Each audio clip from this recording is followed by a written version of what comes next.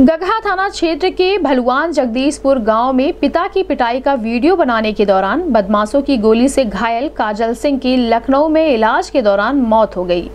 बुधवार की सुबह काजल ने आखिरी सांस ली, उसके पेट में गोली फंसे होने की वजह से उसकी हालत दिन पर दिन बिगड़ रही थी। डॉक्टर ने ऑपरेशन कर गोली निकालने की कोशिश की, लेकिन ऑपरेशन सफल नहीं हो पाया था। मिली जानकारी के अनुसार बांसगांव कचहरी में चतुर्थ श्रेणी कर्मचारी राजू नयन सिंह की इकलौती बेटी काजल सिंह को बदमाशों ने गोली मारी थी। दरअसल, राजू नयन सिंह का आरोपी विजय प्रजापति के साथ रुपए के लेन देन का विवाद था। तीन दिन पहले विजय अपने साथियों के साथ राजू नयन सिंह के घर पहुँचा और उसकी पिटाई करने लगा। पिता की पिटाई होता देख बेटी काजल इसका वीडियो बनाने लगी।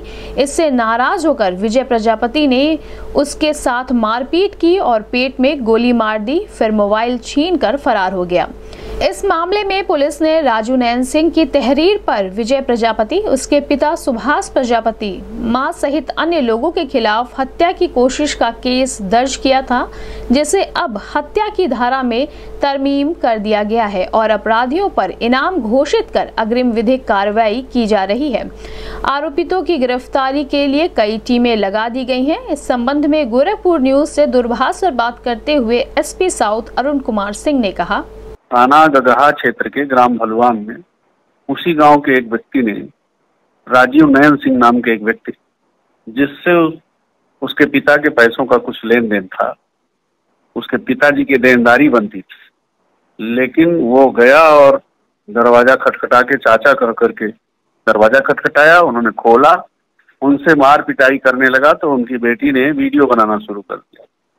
विजय जो उसी गाँव का है प्रजापति अपराधी उसने उनको गोली मार दी उस बेटी को। गंभीर हालत में उसको जिला अस्पताल लाया गया। वहाँ से बीआरडी मेडिकल कॉलेज रिफर हुआ और फिर वो लड़की रिफर हो गई इंजार्ज मेडिकल कॉलेज के लिए। परिजन, पुलिस की टीम लेकर के उसे इंजार्ज मेडिकल कॉलेज गई, जहाँ उसका उपचार चल रहा था। लेकिन दुर्भाग्य ने पीछा नहीं छोड़ा। अंततः बेटी ने दम तोड़ दिया। आज उसका शव गाँव पे आया था। परिजन, उनके गाँव के लोग, उनके रिश्तेदार, उसका अंतिम संस्कार करने के लिए बड़लगंज मुक्ति पथ पर लिए जा रहे हैं।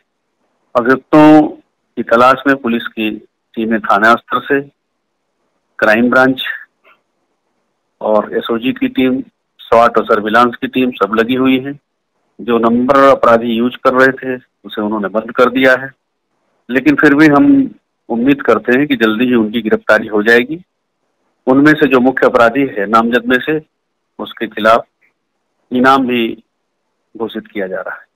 जल्दी ही गिरफ्तारी करके उस दिवंगत बेटी को न्याय दिलाने का हमारा पूरा विश्वास है, पूरा प्रयास है, और ये विश्वास है कि हम उसमें सफल भी हो जाएँगे।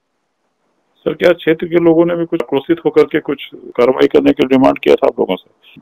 नहीं, अभी कुछ दिन पहले जब ये घटना हुई थी, उसके बाद क्षेत्र के कुछ लोग ज़रूर आए थे। तो क्षेत्राधिकारी ने उनको आश्वस्त किया था इसकी जो कार्यवाही होनी है, हम कर रहे हैं।